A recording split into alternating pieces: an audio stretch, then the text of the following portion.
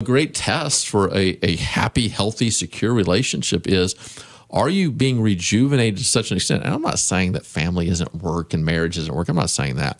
But overall, are you engaged in such a way that that empowers you to go out and try new things? I don't think it's any accident, Leslie. I, I am probably one of the most risk adverse people you'll ever meet, right?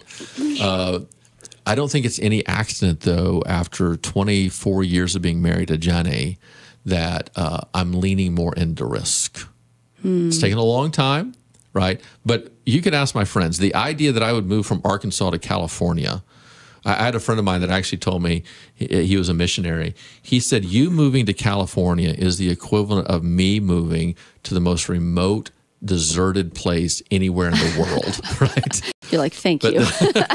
so we joke all the time that you know Jenny's personality is you can spin the globe, put your finger down, she'll move anywhere. I would live on either side of my mother, right? yes. But I don't think it's any accident that after all these years of being married to Jenny and feeling that security to know, as long as she's there, Yeah. I can go anywhere.